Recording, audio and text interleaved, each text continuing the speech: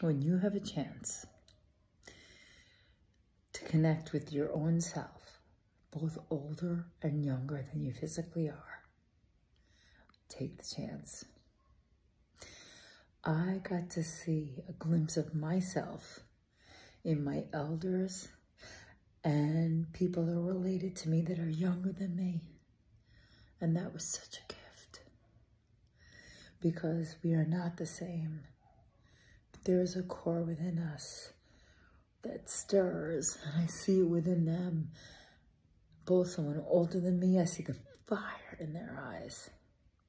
And those younger than me, I see the fire there too. And that was so filling tonight. So what I ask you is, when you look a generation above and of a generation below, what do you really see? What do you see? You see a mirror. And what does that mirror tell you? What is it telling you? I would bet it's telling you to be more active, to rise up, to be more vocal, because both the older and the younger is asking you to do so. That's what came for me up for me today. I will see you tomorrow.